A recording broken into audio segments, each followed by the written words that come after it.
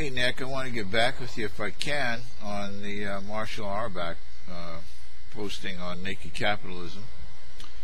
Um, you know, in which uh, he kind of latches on to a comment that uh, Bernanke made about, uh, you know, which is that the Congress is in is in is in control of whether or not uh, uh, the United States of America um, itself uh, could default on its debts. Okay, and um, uh, I want I, I, I really do agree with you about um, the way that uh, Marshall and others uh, of the printers, you know, the printers group, um, go about making their statements, especially in this regard. Okay, um, and I actually my differentiation, by the way, just so to be clear with the, with it, is this: to them, they say there is no restraint. Okay, but if you follow, if you read what they say, then they say that restraint, there is a restraint, but that restraint is self-imposed, and because it's self-imposed, it's not something that that exists in the real world and can be readily undone by taking away the self-imposed restriction. Well, to me, that doesn't really inform the discussion when they talk about it that way, because what does it take to remove the self-imposed restrictions that we have on ourselves? Now, what are those self-imposed restrictions exactly? You know, um, for instance, you know, one of the self-imposed restrictions that they say is is is really has to do with the basically increase that debt limit in order for them to to spend uh, to borrow up to a certain level. Well, you have first of all the monetary uh, sovereignty restraint, the restraint on monetary sovereignty, which is the Federal Reserve Act. That's a restraint on monetary sovereignty. Okay, a self-imposed restraint on monetary sovereignty. Does he does he does he address that? No, uh, not, none of them do, by the way, and that is a big part of my criticism of it. They they want to posture that they take is that is that it's almost implicit that that's a self-imposed restraint. If you understand anything about innate, what nation, uh, uh, the power of a sovereign nation, and you understand that any restraint put on its monetary power is a self-imposed restraint. Yeah, but it's still there, you know you know, the setting up of the of the European Monetary Union. That was a second tier of a restraint on on monetary sovereignty. The first would have been any private central banking activity, uh, where a government has to either meet its budget through taxation or borrowing. That is a self-imposed restraint. Okay? But they don't talk about that. They ignore that. They want to they want to make it you know they want to again it's their posture. The posture that they take is that it's almost a, it's almost a given. It's because you guys don't understand how things really work that you that you talk that way. Well you know what? It's a self-imposed restraint. When you get a self-imposed restraint for about a hundred years you know so there's five generations of people that uh, have grown up living in under those restraints it's easy to forget, you know, what the non-self-imposed restraint would be like.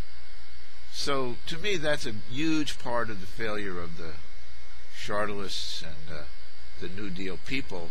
Although only some of the New Deal people, uh, I feel, are, are really sharp. But having said that, I'm, I'm trying to identify, you know, to you the fact that it is a self-imposed restraint, that it is due to the nature of the monetary systems that we set up nationally or what transnationally with the euro? So that you know the Europeans they give up their sovereignty first to their private central bank and then from the private their private central bank to the European central bank. So there's two orders of uh, uh, of uh, magnitude to deal with to get monetary sovereignty restored. So when you take a look at what it is that they say they say the reason for only reason, okay, for implementing that aspect, that spending aspect, that money creation aspect, okay, uh, of, uh, of the power of the government, is due to a lack of, econ speak, aggregate demand. Lack of aggregate demand, okay? Supply and demand, there's no demand, there cannot be any supply. That is to say, there would be an excess supply there being no demand, there'll be soon enough there'll be no supply, and that's where we're at. Okay, Nick, that's where we're at. Uh, and I want to give you the cause of that because this goes back to you know several videos and exchanges that we've had. And The cause of that is the creation of debt money, the creation of debt.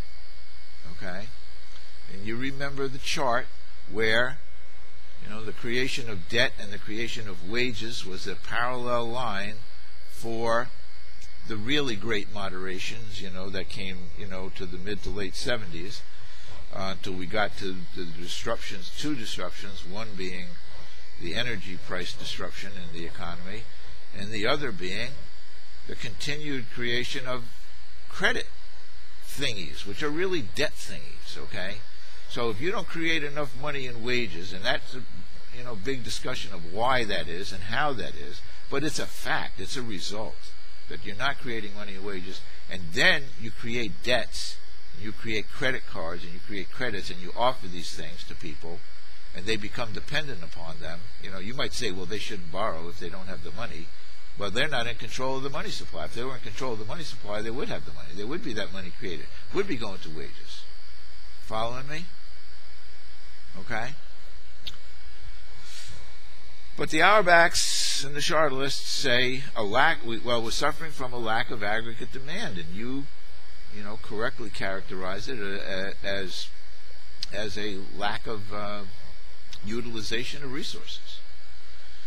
And you know, don't you know? There's no need to differentiate between whether it's the people resource, the natural resource, or the financial resource. In all cases, there's a lack of them. That's what this recession come depression is going to be all about. Okay? And so the question becomes in those times, in those periods of times, if we're a national economy and if the job of the government is to promote the general welfare and we don't have jobs, we don't have the basic things that create the demand within the economy, then it is the, becomes the government role to enhance the aggregate demand. And that's why they're saying, you know, we need to put the money in. But they talk about it only as if it's oh, always just a function of, you know, it doesn't matter, there's the deficit, there's a lack of aggregate demand, it doesn't matter about the deficit. Well, it matters about the deficit. You're right. the reason it matters about the deficit is because we have to borrow the money. We've had that discussion. And if you go, by the way, Nick, you know, it's not a, it's not such a simple question, but it's a question that should the government be, as we are now, the banker of last resort and protecting the bankers? Okay? Or should the government be the employer of last resort and protect the workers? Okay? That's kind of what it's about. That's kind of what it's about. And what we're about is it is our job, what we're about at economicstability.org and the Monetary Reformers and the Kettle Pond Institute is it is the role of government to promote the wealth to general welfare.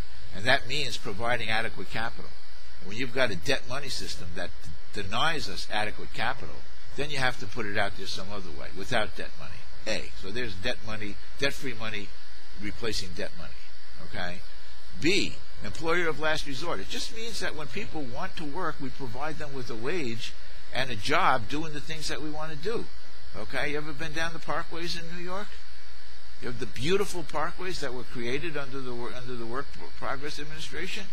You know, best highways ever made, most beautiful? No, because we could do it because we had excess labor. We have an excess labor again, Nick. There's plenty of things to do, plenty that needs doing. We're not going to. Is the are the private people going out there and building the roads? Are the private people, you know, going out there and, and saying, well, well, we want to employ these people, so there's competition. There's no competition, Nick. Go to uh, the Center for uh, Full Employment and Equity, okay, which is uh, uh, Dr. Bill Mitchell's uh, uh, economic site and, and, and, see what they see the work that they've done there. So there is a rationale to it, a complete, full rationale to it.